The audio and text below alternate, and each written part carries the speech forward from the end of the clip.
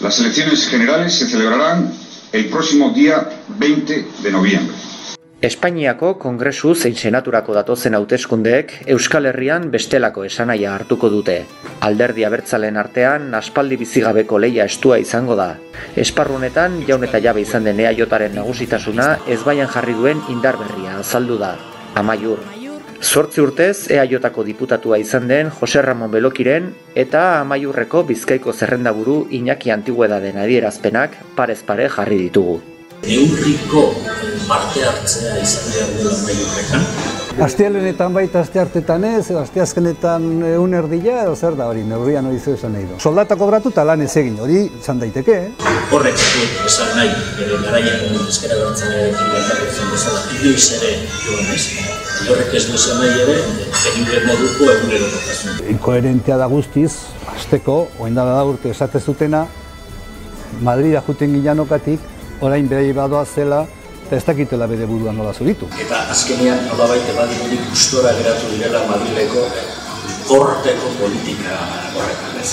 Ez hori izango nintzateke, nola onartzea, e, guri dauzkin eskubideak eta herritarra bezala dauzkagun e, berdina sozioekonomien kulturan eta honetan azken finean onartzea han ere e, zea, ez, e, e, atara daiteke daude. E, kongresuan ez dela inor ezin izango du esan ditu, hau ona zela, ona zela langileen estatara amaiurreko bezala.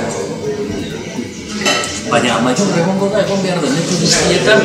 Nik batzutan esan izan dut, dala alderdirik gabeko jende baten alde batetik eta bestetik e, jenderik gabeko alderdi baten amalgama. Ez. Zu gobernatu gabe zaudenean, ideiak eta intentzioak eta eta ametsak eta eta hitzonak eta hitz politak eta bai baina gero zatoz politikara eta eguneroko bizitzan asmatu zazu hori egiten egin alak egin dituen eta hondiagoak egingo dituen e, bilduri ez usteko Gipuzkoako diputazio futureak. Horretarako e, bildu edo edo esker soberanismoa nagusi balitz, hegemonikoa balitz Euskal Herrian, eta ez bigarrena idurugarrena, ba, Euskal Deri Euskal Deri Jeltzalea. Eta abertzaletazunen zerean, ez? Euskal Deri Jeltzaleak eta eta eskerre subiraniztek da, daukagun diskursua oso diferentia da. Pentsatzea norbaitek.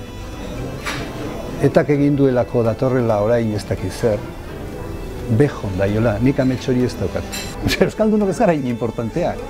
Nik uste dut orain arte niko eroso egon dela Euskaldere jeltzalea, hain zuzen ere, ba, hor izan diren bestelako ostopoak eta hortxe izan direlako, ez? Baina orain ostopoiek desagertu egin direla neurri oso handi batean, orain hitzen e, horretara jotzen dugunean, kontuz, eh? hemen ja, ja ez du balio izan. Nik uste dut gure hegemonia izan dela neurri batekoa, horre gara, denbora guztian, nik uste dut gizartearen zentroan, baina zirkustantzi berria datoz, behin eh, jende guztian, nola baita esatearen, ba, e, demokrazian eta arau demokratikoetik jokatzen hasten baldin bada. Aktiboa den jendea bildu eta pasiboa den aktibatu. Eta horretan, nahi, nahiago duzu, normala den bezala, zu gehiago izatea albokoa baino, ze albokoa beste diskurso bat dauka.